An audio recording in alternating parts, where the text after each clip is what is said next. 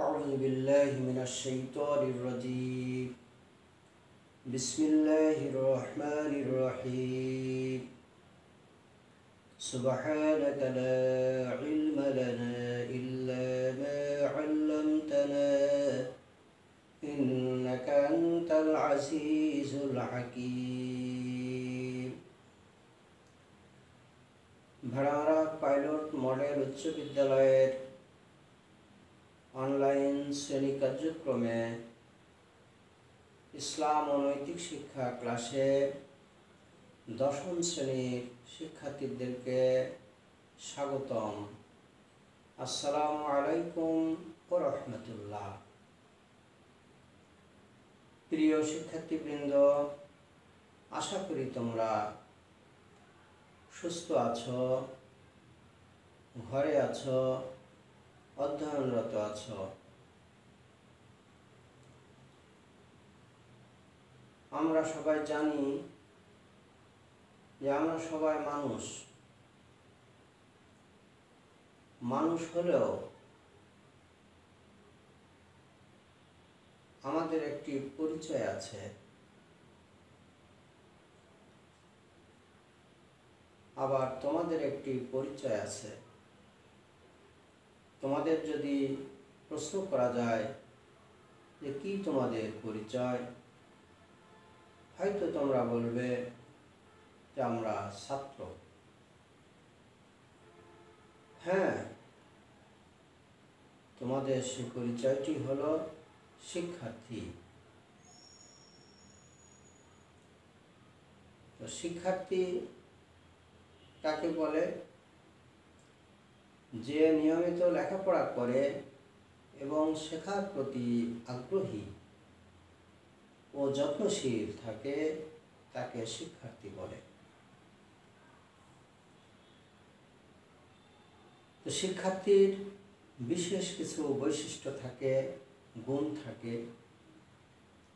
তোমরা শুনে আশ্চর্যান্বিত হবে যে মাঝহাব জগতের এক অনন্য ব্যক্তিত্ব ইমাম শাফি রহমতুল্লাহ আলাইহি এর শিক্ষক আল্লামা ওয়াকি রহমতুল্লাহ আলাইহি বলছেন যে শিক্ষার্থীর একমাত্র বৈশিষ্ট্য হল সকল প্রকার পাপ কাজ বর্জন করা। পাপ কাজ বর্জন করা অর্থাৎ শিক্ষার সাথে নৈতিকতা জড়িত রয়েছে। একজন শিক্ষার্থী তার আচরণের মধ্যে অবশ্যই নৈতিকতা আনবে। এক কথায় বলা যায় যে শিক্ষার সাথে নৈতিকতার প্রয়োজনীয়তা অত্যধিক। সুতরাং আসো আজ আমরা শিক্ষা ও নৈতিকতা সম্পর্কে আলোচনা করি। আমাদের আজকের পাঠ শিক্ষা ও নৈতিকতা।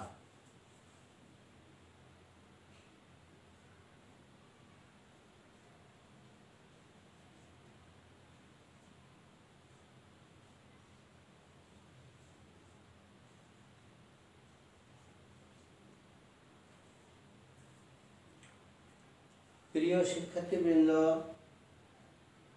এ পাঠ থেকে আমরা জানতে পারব ইসলামের শিক্ষা কাকে বলে? ইসলামী শিক্ষার মূল উৎস কয়টি? নৈতিকতা কি? এবং ইসলামী জীবন ব্যবস্থায় নৈতিকতার গুরুত্ব কি? আসো, আজ আমরা প্রথমে জেনে নিই যে ইসলামী শিক্ষা কাকে বলে? আমরা জানি সঞ্চিত জ্ঞান এবং অভিজ্ঞতাকে নিজের জীবনে সফলভাবে প্রয়োগ করাকে শিক্ষা বলে। একজন মানুষ জীবনে অনেক জ্ঞান সঞ্চয় করে, জীবনব্যাপী অনেক অভিজ্ঞতা সঞ্চয় করে এই জ্ঞান, এই অভিজ্ঞতা যখন সফলভাবে প্রয়োগ করে, তখন তাকে বলা হচ্ছে শিক্ষা।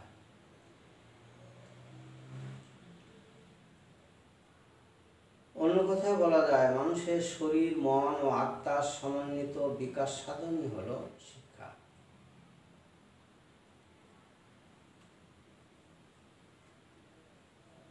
আর যে শিক্ষা ব্যবস্থা ইসলামকে পূর্ণাঙ্গ ও পরিপূর্ণভাবে তুলে ধরা হয়েছে, তাকে ইসলামী শিক্ষা বলে। অর্থাৎ ইসলামের পূর্ণ রূপ প্রকাশ পেয়েছে যে শিক্ষার মধ্যে, সেটি হলো ইসলামী শিক্ষা। ইসলামী শিক্ষার মাধ্যমে একজন মানুষ নিজেকে সৎ, চরিত্রবান, খোদাভীরু, দেশপ্রেমিক দায়িত্বশীল ও সুনাগরিক হিসাবে গড়ে তুলতে পারে।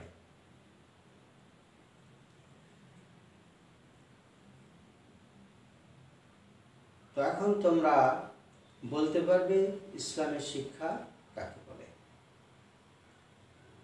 ইসলামী শিক্ষা আমরা কোথা থেকে পেয়ে থাকি? অর্থাৎ এর উৎস কি? এটা বলতে গেলে বলতে হয় যে ইসলাম শিক্ষার প্রধান উৎস হচ্ছে দুটি। তার একটি হলো আল কোরআন আর অপরটি হলো আল হাদিস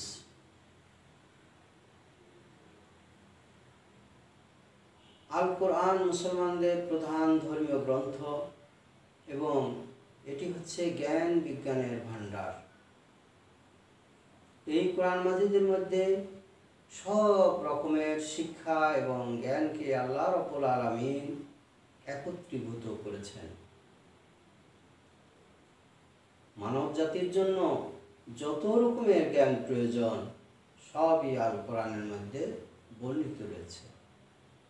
এই জন্যই আল্লাহ সুরাতুল আনআম এর আটত্রিশ আয়াতে ঘোষণা করছেন মা ফাররতনা ফিল কিতাবি মিন কিতাবের মধ্যে আমি কোনো কিছুই বাদ দিই নাই। অর্থাৎ পবিত্র কোরআনের মধ্যে আল্লাহ রব্বুল আলমিন কোনো কিছুই বাদ দেন নাই। মহান আল্লাহ তালা সুরা নাহলের উনআশি উননব্বই আয়তের মধ্যে ঘোষণা করছেন ওয়ানাজ্জালনা আলাইকাল কিতাবা তিবিয়ানান লিকুল্লি শাই। যে আমি সকল বিষয়ের বর্ণনা দিয়ে আপনার উপরে কিতাব অবতীর্ণ করেছি। আল্লাহ রাসুলকে আল্লাহ রব্বুল আলমিন বললেন যে মানে সকল বিষয় বর্ণনা করে দিয়েছেন কিসের মধ্যে? পবিত্র কোরআন মাজিদের মধ্যে এবং এরপর পবিত্র কোরআন মাজিদ রাসুল সাল্লাহ আলাইসাল্লামের উপরে আল্লাহ রব্বুল আলমিন নাজির করেছেন। তো সুতরাং আমরা বুঝতে পারছি যে ইসলামী শিক্ষার প্রধান ভিত্তি হচ্ছে আল কোরআন এর দ্বিতীয় উৎস হচ্ছে আল হাদিস এরও প্রামাণ্য দলিল আমরা কোরআন মাজিদ থেকেই পাই। মূলত কোরআন মাজিদের ব্যাখ্যাই হচ্ছে আল হাদিস আল্লাহ রব্বুল আলমিন ঘোষণা করছেন সুরা হাসরের মধ্যে ওমা আতাকুমুর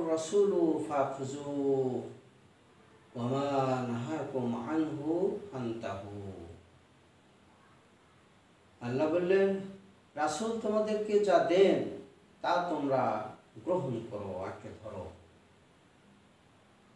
আর যা তোমাদেরকে নিষেধ করেন, তা থেকে তোমরা বিরত থাকো। অর্থাৎ রাসুল সাল্লামের আগমন তো ছিল মানব জীবনের আদর্শ শিক্ষক হিসাবে। তিনি যা শিখাবেন, তিনি যা আমাদের বলবেন, সে সম্পর্কেই আল্লাহ রব্বুল আলমিন ঘোষণা করে দিলেন, এটা আমাদেরকে অবশ্যই গ্রহণ করতে হবে। অর্থাৎ হাদিস হচ্ছে ইসলামী শিক্ষার দ্বিতীয় উৎস।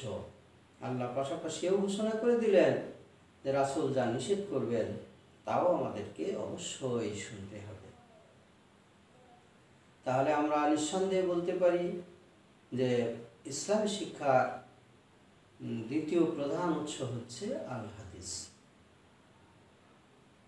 এছাড়া ইসলামী শিক্ষার আরও দুটি উৎস রয়ে গেছে। এই উৎস দুটি মূলত কোরআন এবং হাদিস থেকে উচ্চারিত। ধর্ম বিশারদগণের ঐক্যমত এবং পাশাপাশি তাদের সাদৃশ্যমূলক যে অভিমত, এটাও ইসলামী শিক্ষার উৎস হিসাবে স্বীকৃত।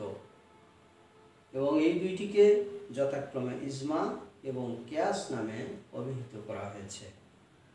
সুতরাং আমরা বলতে পারি যে ইসলাম শিক্ষার মোট উৎস হচ্ছে চারটি। উৎস দুটি আল কোরআন আল হাদিস আর পরবর্তী দ্বিতীয় দুইটি উৎস হচ্ছে ইজমা এবং কেয়াস। তো শিক্ষার্থী বন্ধুগণ, আমাদের জানা দরকার যে ইসলাম শিক্ষার অন্যতম উদ্দেশ্য কি। ইসলাম শিক্ষার অন্যতম উদ্দেশ্য হচ্ছে নৈতিকতা অর্জন করা। নৈতিকতা অর্জন করা। তো নৈতিকতা কি?